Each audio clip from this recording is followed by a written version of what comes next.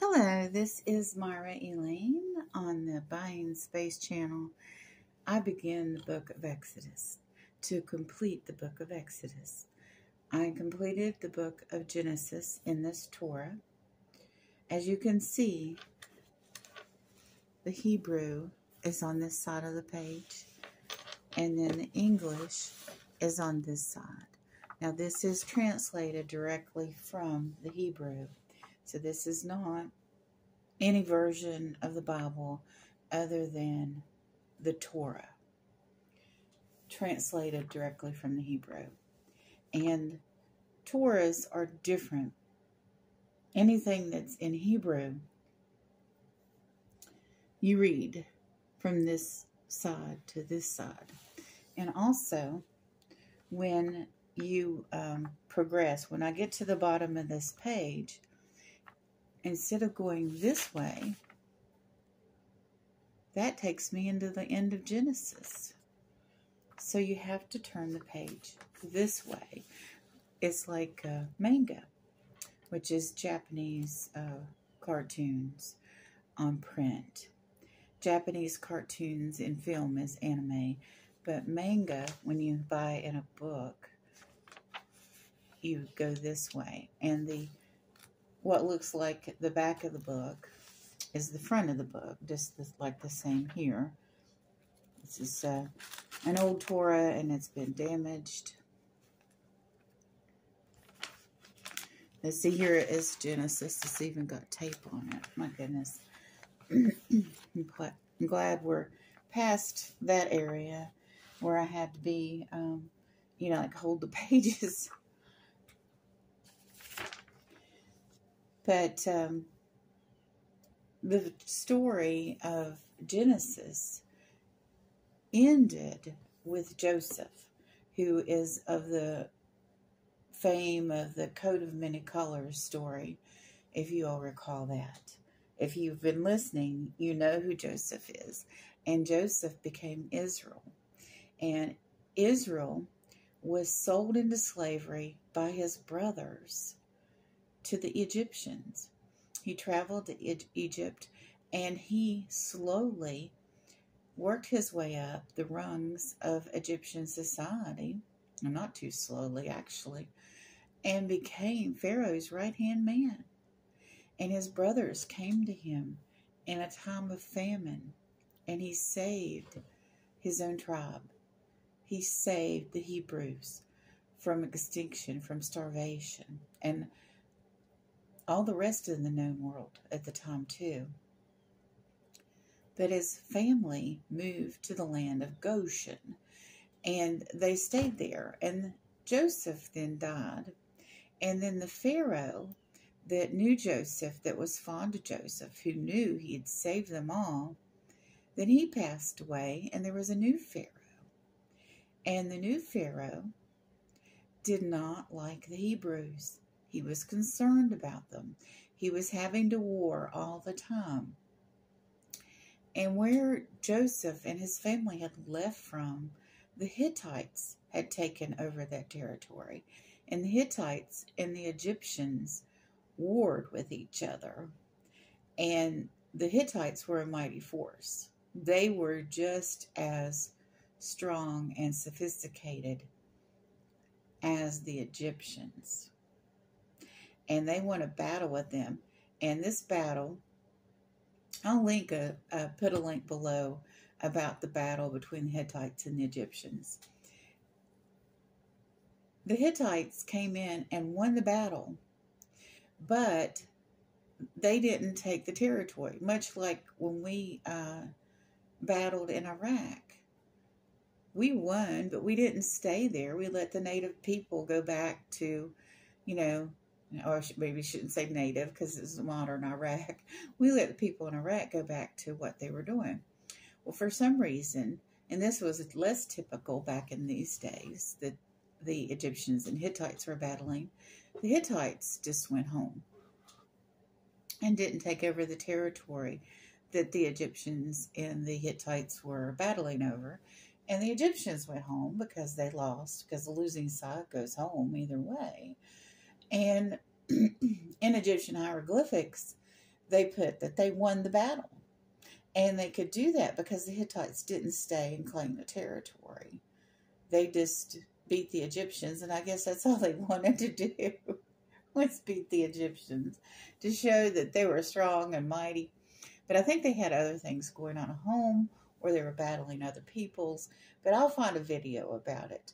I'm not an expert on the uh, war between or wars between the Hittites and the Egyptians, but I know that that uh, battle, and I know that Egypt at the time this was going on was concerned about their outside enemies, and they were concerned about the Hebrews because they were populating really well and they were growing. And they were concerned that they might join up with one of their enemies, like the Hittites, and destroy them. Now, you might think, well, that's really paranoid, but that sort of thing happened uh, back when people, when countries fought over territories um, more often than they do now. It's still going on with Russia and the Ukraine um, and other places in the world, uh, but it was uh, more defined then because there wasn't nuclear warheads, there wasn't technology like we have today. Uh, you came in, and whoever got slaughtered uh, lost, and the other party took over the territory. It was about the land grab. Um, today, it's about the petrodollar and other things, political things. It's not necessarily taking over the land, but controlling the people in the land today. We don't move. If we win, we won in World War II, we didn't move a bunch of people to Germany. Um, I mean, we did have military base there, but we didn't like move people there to live. And we didn't take people from Germany to come over here and serve us um, you know, that would have been absurd. So, uh, although we did hire some of their scientists. anyway, so as we talk about Exodus and the Egyptians, I want you to keep in mind that that's the type of era they were in in history. And um, the Egyptians are an amazing people. Now, it is absolutely positively wrong to enslave anyone, but it doesn't discount the rich culture they had. Now, I'm not proposing in any way, shape, or form that anyone worship Ra. Worship of someone is not necessarily study of someone. There are Christians that are Egyptologists and they worship God. They don't worship Ra or Amun Ra or any other Egyptian deity, but they might have carvings of deities to preserve history. You know the phrase, it belongs in a museum. So we're not idolizing any Egyptian deities by having uh, statues of them. As long as we're worshiping Yahweh, we're fine. We don't have to be like ISIS. ISIS is an Islamic group that uh, terrorized the Middle East for quite some time, not that long ago. And one of the things they did was they went around destroying history by um, and they sold artifacts to um, foreign buyers for top dollar and people paid it even though it was illegal to preserve that history that item um, and they destroyed mainly assyrian and other pre-canaanite society uh, artifacts and sculptures because they believed that there should be no graven images and that only images to yahweh and um, Allah should exist. So they destroyed a great deal of historical evidence of pre Canaanite societies, and that was highly unfortunate. Um, but that's what they did because they have an extreme view of graven images. We can keep statues and pictures and trinkets of what other civilizations worshipped as long as we're not worshiping them, as long as we have them in a museum, as long as we are worshiping Yahweh or our Lord or God or the eternal, if you read uh, Elijah, that has the word for uh, God in the Torah, in the first and second Kings, Elijah calls God the eternal. That's the translation in the Torah. And I just recently found that out for God. So we're fine as long as we're worshiping God. Now, if we start taking those statues and things and start bowing down to them and worshiping them or um, making sacrifices or offerings to them, we are within worshiping um, those gods. If uh, people these days, there are people now that worship Baal for real. In our modern time, they worship Baal, and they worship Baal in the past. So if you have a statue of what the deity Baal was uh, back in the days of Jezebel, you're fine as long as you are keeping that as a museum piece, a piece of history, not something you're actively worshiping even though people worship that in the past. Now, would I make um, a new statue of Baal? No. But if I ran across an an, uh, antique or an ancient item that was already constructed, I would keep it. And I might donate it to a museum, but I certainly wouldn't destroy it. Uh, we are living in a day and age where people are not using common sense when it comes to things. If you don't want something in your space that, um, like tarot cards, certainly get rid of them. Uh, the only thing that I would burn right now would be a Ouija board. That I would burn. But everything else, I would send to Goodwill or to Vietnam Veterans or some other donation place and just get it out of my space.